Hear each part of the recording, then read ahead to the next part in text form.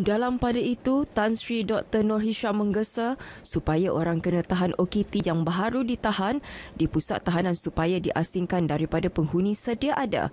Tegas beliau, walaupun ujian saringan didapati negatif dan mereka tidak bergejala, namun pengasingan selama 14 hari perlu dilakukan bagi memastikan OKT tersebut bebas daripada COVID-19.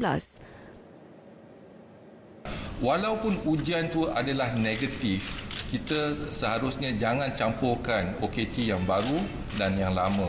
Sebab tempoh inkubasi dia adalah 14 hari. Jadi selepas 14 hari baru kita boleh uh, campurkan yang baru dan lama. Ini mungkin uh, dari segi pelaksanaan kita, uh, kita kena lihat bukan sahaja di penjara tetapi di depo tahanan immigration dan di tempat-tempat yang lain pun kita